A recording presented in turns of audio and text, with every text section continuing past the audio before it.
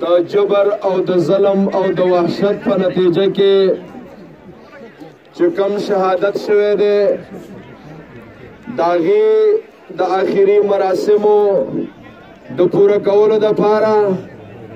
د باجوړی جلسې تمام ولس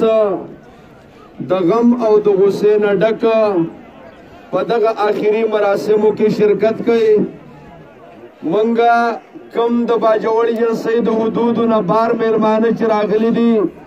زمانه مخکې ډاکټر سید عالم مسعود صاحب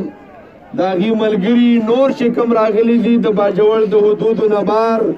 موږ د باجوړ له طرفه داغي ټول شکر گزار یو په ټول باجوړ باندې حمله ده دا ټول باجوړې وجلې ده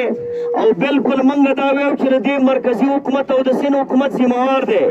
تر څو پورې چې دا قاتلان نیول شوی نه دي تر هغه پورې ور دې ټول باجوړ کې احتجاجي مصطفی سره چې پسن کې کم سلوک شوی دی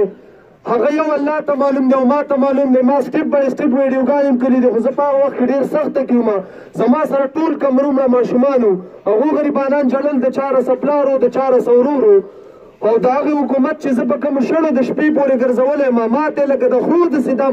دا مړی ما ته په امبولانسو کې راچولي ما خپل تابوتونه اخیستي دي زه هغې ته په وخت نیم رسولی زه د هغې نه د قصده په شړو کې وړم یو نیم سل کیلومتره پنجاب ته رسولم سوال زاري به مې ورته کولی چې وروره زه پېښور ته ځم زه لاهور ته نه ځم چې پښتانه صرف دې لپاره نه دي چې دې وینه ارزانه ده پښتانه صرف دې لپاره نه دي چې دیو لاشونه به اوچتېږي نورې جنازې موږ نه شو اوچتولی نورې جنازې موږ به ورته ګورو او که د پښتون دا حشري دیو بیا چوتی د کراچۍ د پچاسی تاریخ د چا نه جدا نه دی په هغه وخت کې پښتانه ډېر کم وو اوس خو الحمدلله پښتانه د پاکستان په هر ګوټ کې دي که چېرته